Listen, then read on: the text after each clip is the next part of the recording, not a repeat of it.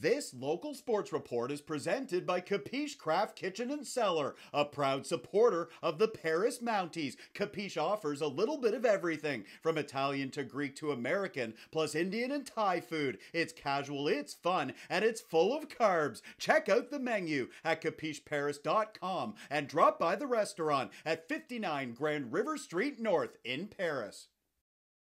Let's head to the Brant Sports Complex for the Paris Mounties and the New Hamburg Firebirds. The two teams meeting for the first time this season on Saturday night. Opening period, Riley Benko is on the far boards. He centers, Cole Stanix is there, and he buries the loose puck. Stanix opens the scoring. He gives New Hamburg a 1-0 lead. A little later, more Birds pressure. Jacob Thompson drops it for Jack Nell. He rips it. Nick Barker with a glove stop. He makes the save, keeping it a one-goal game. Second period now. This is Owen Fisher over to Jake Thompson. He comes in and scores a beauty. JT with his fourth goal of the season. He makes it 2 0. Later in the period, how about this save from Nick Barker? He flashes the leather. Barker with 44 saves in the game for the Mounties. Still in the second, Owen Switzer with the puck. And look out, here comes the express train known as Eric Vander Eyk. He drills Switzer at the blue line. That it's a big collision in the middle.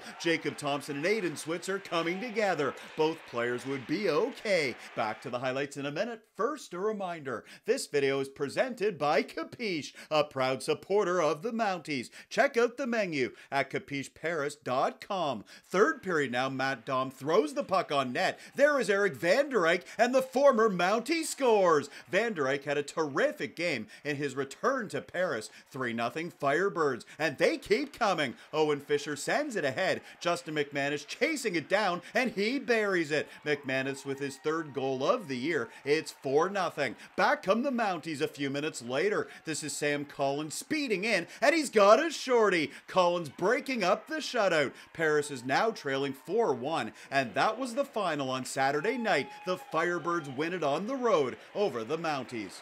For more highlights, visit our website, 519sportsonline.ca. Be sure to subscribe to our YouTube channel and follow us on Facebook, Instagram, and Twitter.